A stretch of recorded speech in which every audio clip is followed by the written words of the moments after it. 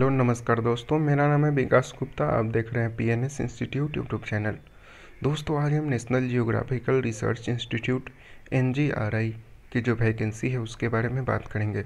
दोस्तों, अगर आप हमारे चैनल पर नए हैं तो हमारे चैनल को ज़रूर से ज़रूर सब्सक्राइब कर लें और साथ ही बेल आइकन को दबा दें, क्योंकि हम ऐसे ही नए वैकेंसी के अपडेट आपके लिए लाते रहते हैं। तो चलिए ऑफिशियल नोटिफिकेशन से देख लेते हैं कि क्या वैकेंसी है। वैकेंसी के लोकेशन की बात करें दोस्तों तो यह वैकेंसी आपकी हैदराबाद में होगी, जो कि C S I R N G N G R I की होगी। N G R I institute है दोस्तों, जो कि जियोग्राफिकल स्टडी करती है। तो यह आपका लिए अच्छा एक जॉब माना जा सकता है, जिनको जियोग्राफी वाले सेक्शन में इंटरेस्ट हो। दोस्तों, किस किस चीज़ के लिए वैकेंसी है, वो मैं आपको बताऊँ। तो जियो जूनियर सेक्रेटरीट असिस्टेंट के लिए वैकेंसी है और जूनियर स्टेनोग्राफर के लिए वैकेंसी है। ठीक है? डेट की बात करें इंपॉर्टेंट डेट की तो तेरह नौ से स्टार्ट है आपका अप्लीकेशन और पंद्रह दस तक आपका अप्लीकेशन रहेगा। यानी कि पंद्रह दस तक आप ऑनलाइन अप्लाई कर सकते हो। पोस्ट की बात करें दोस्तों जूनियर सेक्रेटरीट असिस्टेंट की पोस्ट है। यहाँ पे आप देख सकते हैं, और जूनियर स्टेनोग्राफर की पोस्ट है। इसके लिए छः पोस्ट है, जिसमें कि तीन यू दो ओ बी और एक एसटी का पोस्ट है और जूनियर स्टेनोग्राफर का एक पोस्ट है, यानी कि टोटल वैकेंसी सात है हमारे पास। लेवल पे की बात करें दोस्तों तो उन्नीस हज़ार नौ सौ से तिरसठ हज़ार दो सौ तक आपका पेमेंट होगा और स्टेनोग्राफर में पच्चीस हज़ार पाँच सौ से इक्यासी हज़ार एक सौ पेमेंट होगा, ठीक? यहाँ पे देखिए टोटल पेमेंट बत्तीस हज़ार छः सौ, यहाँ पर टोटल पेमेंट तैंतालीस हज़ार तीन सौ अड़सठ। इसेंशियल क्वालिफिकेशन की बात करें तो टेन प्लस टू चाहिए कंप्यूटर स्पीड चाहिए आपका, यहाँ पे टेन प्लस टू और साथ ही स्टेनोग्राफर स्टेनोग्राफी आपको आनी चाहिए। एज लिमिट की बात करें दोस्तों तो अट्ठाईस साल है, आपका हाइयर एज लिमिट ठीक है? नेक्स्ट बात कर लेते हैं दोस्तों, आपको बेनिफिट क्या क्या मिलेंगे इसके अंदर।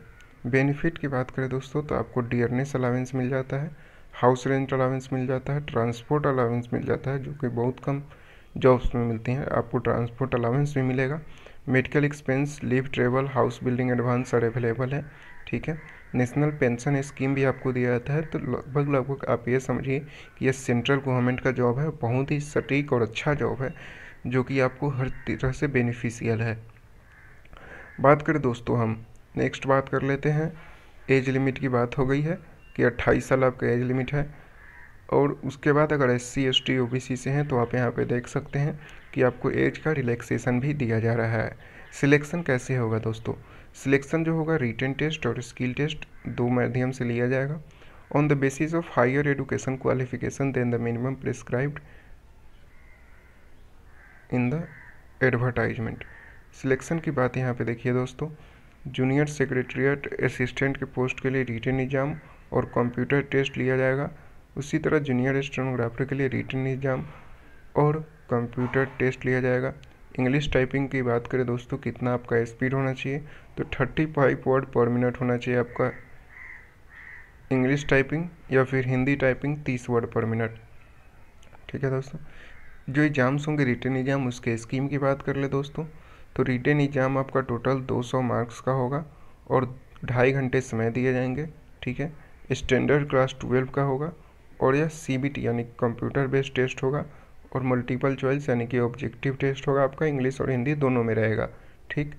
टोटल क्वेश्चन पेपर वन जो होगा, उसमें मेंटल एबिलिटी टेस्ट होगा हंड्रेड क्वेश्चन रहेंगे दो सौ मार्क्स के, जिसमें निगेटिव मार्किंग आपका नहीं है। तो ये एक अच्छी बात है कि आपके एग्ज़ाम के लिए निगेटिव मार्किंग नहीं है। मेंटल एबिलिटी टेस्ट में आपसे दोस्तों जनरल इंटेलिजेंस यानी कि टोटल आप ये समझे कि रीजनिंग और मैथ दोनों लिया जाएगा आपसे, ठीक है? पार्ट टू की बात करें तो इसके लिए आपको टाइम अलॉटेड है वन आवर और पेपर वन के लिए आपका टाइम अलॉटेड था नाइन्टी मिनट यानी कि डेढ़ घंटे उसमें समय लगेंगे, एक घंटे इसमें सौ क्वेश्चन वहाँ पूछा जा रहा है। यहाँ से जी के से पचास क्वेश्चन पूछे जाएँगे, जिसका मैक्सिमम मार्क्स डेढ़ सौ रहेगा और एक नंबर का निगेटिव मार्किंग है, यानी कि वन बाई थ्री, ठीक है? तैंतीस परसेंट निगेटिव मार्किंग बहुत ज़्यादा निगेटिव मार्किंग आ रही है यहाँ पे।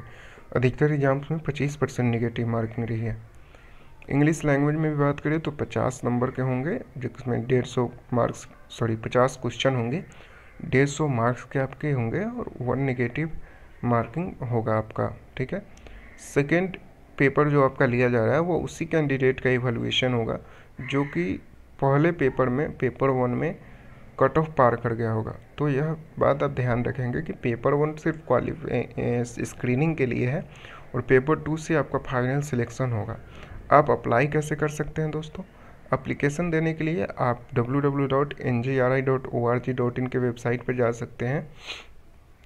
उसके बाद इंस्ट्रक्शन पेज में जाएँगे बिफोर अप्लाइंग वहाँ पे आपको सौ रुपये इसका पेमेंट फ़ी आपको कितना करना है? सौ रुपये आपको पेमेंट करना है अप्लीकेशन फ़ी के तरफ़। ठीक है? नेक्स्ट हम बात कर लेते हैं दोस्तों कि आपका डॉक्यूमेंट्स क्या क्या अपलोड करने पड़ेंगे। डॉक्यूमेंट्स में टेंथ क्लास का मार्कशीट ट्वेल्व का मार्कशीट डिग्री अपन ने कार रखा है तो उसका मार्कशीट एनओसी चाहिए अगर आप कहीं पर जॉब करते हैं। साथ ही caste certificate shorthand certificate अगर अप्लीकेबल है तो और भी सारे डॉक्यूमेंट्स लगेंगे आपको। तो दोस्तों, ये था हमारा वैकेंसी का पूरा डिटेल्स सात वैकेंसीज है। और जो कि बहुत ही वैकें अच्छी वैकेंसी है। तो अगर आप इसके लिए एलिजिबल हैं तो ज़रूर से ज़रूर अप्लाई कर सकते हैं। आशा करता हूँ दोस्तों, आपको हमारा ये वीडियो पसंद आया। अगर और भी वैकेंसी के डिले अपडेट आप पाना चाहते हैं तो हमारे चैनल को ज़रूर से ज़रूर सब्सक्राइब कर लें, क्योंकि हम ऐसे ही नए अपडेट डेली लाते रहते हैं आपके लिए। धन्यवाद दोस्तों, मिलते हैं नेक्स्ट वीडियो में।